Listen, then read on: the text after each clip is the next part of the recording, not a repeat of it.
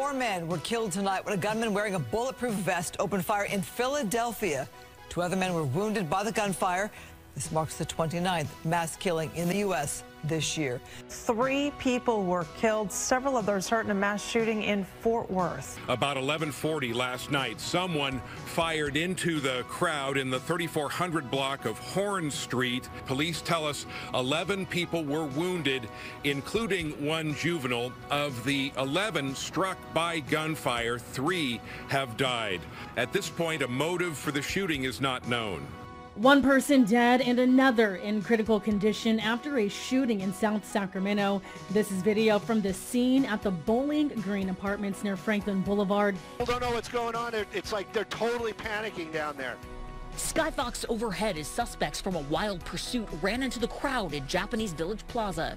There was so many people like just ran into all the stores. And everybody was just in distress. The children were just crying. Everyone thought that they were going to die in that moment.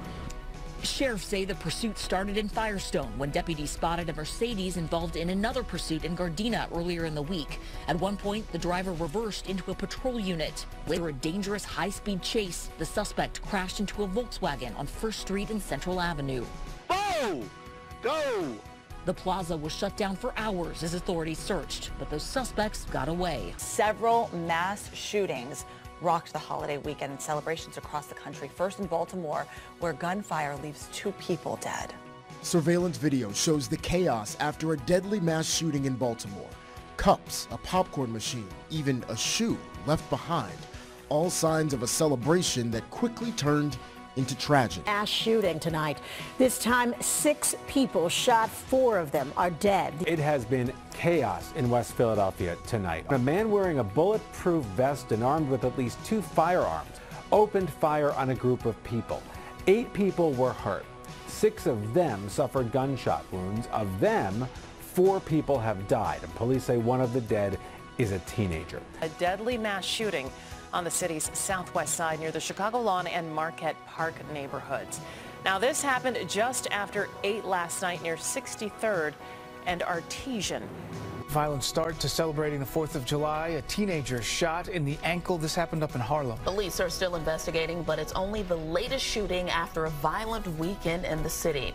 In Wichita, Kansas, another mass shooting, this time at a nightclub. When the music cut off, always hear is like shots. Police say at least four guns were fired inside of the club, leaving at least nine shot and two people trampled as they tried to escape. Everyone survived, and so far one person is in custody. There have been at least 338 mass shootings nationwide in 2023. This morning, police say they continue to look for the shooter or shooters who shot four people, including a 12-year-old girl last night on Eastburn Avenue, just off the Grand Concourse in Mount Hope. Police say the 12-year-old was hit in her shoulder, a 35-year-old woman was shot in her right foot, a 23-year-old man was struck in his right thigh, and a 22-year-old man was shot in the toe. Another day, another neighborhood in the Bronx that has seen a shooting with multiple victims. Chicago police telling us a group of men were outside on a sidewalk when a driver in a black Charger pulled up and someone inside it opened fire. Four of the men on the sidewalk were hit by bullets. A 23-year-old man died at a hospital. The three other men who were hurt are all expected to recover. The 4th of July began with more violence inflicted on a child. Police say just before 1 this morning, a 13-year-old boy was shot in the ankle at 310 West 143rd Street in Harlem. Video from the scene shows crime scene tape inside the lobby of the apartment building there and officers using flashlights to search for evidence outside. The NYPD says the 13-year-old was taken to Lincoln Hospital in stable condition. Police have not made any arrests. Chicago police say one person was killed and two others were hurt in a shooting on the city's south side. Witnesses tell police someone in a silver car opened fire on the group. A man was shot in the head and died later at Christ Hospital. Two others were hurt, are, are expected to survive. So far, police have not said if anyone is in custody. Police say three men were shot on Walton Avenue just outside Joyce Kilmer Park in the concourse section of the Bronx. A witness described what he heard. Boom, boom, boom, boom, boom, like by six. Rapid succession. Yes. A 24-year-old and 44-year-old were hit in the leg. Another 44-year-old was hit in his buttocks. All these have already made an arrest in the killing of 15-year-old Wesley Vasquez Saturday night in Riverbank State Park in Hamilton Heights. Yesterday, state police announced the arrest of 36-year-old Anibal Cruz of the Bronx. He is charged with second-degree murder and criminal possession of a weapon. And we have another triple shooting to tell you about. This one about a half a mile away from where we are. It took place at 440 this morning. Police tell us that three men were shot inside of a building near Claremont Park. Two of the three men, who we're told are 28 and 34, suffered life-threatening injuries. The other man, I'm told, suffered non-life-threatening injuries. So far, police have not yet made any arrests in that shooting. Five people killed in a mass shooting, four adults and a 15-year-old boy. The survivors, two boys, a 13-year-old and two-year-old, both shot in the legs. That toddler's mother and twin brother also injured by shattered glass. The family of three in a car together, mom driving, when the shooter randomly opened fire on them.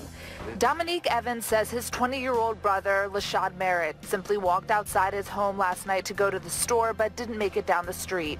Just walked up the house. And my best homie was right there and shot him. Philadelphia police say Merritt was one of five people shot and killed when a 40-year-old opened fire near 56th and Chester Streets in Kingsessing around 8.30 Monday night in what appears to be a random attack. Investigators say there's currently nothing connecting the shooter to the victims. And police say this video circulating on social media is part of the investigation, showing the suspect turn and open fire. Police believe the first victim, 31-year-old Joseph Wilmot Jr., was killed inside a home on South 56th Street. The suspect then began shooting aimlessly uh, at occupied vehicles and individuals on the street as they walked. Police say 12th District officers ran towards the gunfire, caught up with the shooter on the 1600 block of Frazier Street, and took the shooter into custody. This is a national tragedy that we have a mass shooting a day, or more than a mass shooting a day in America in 2023.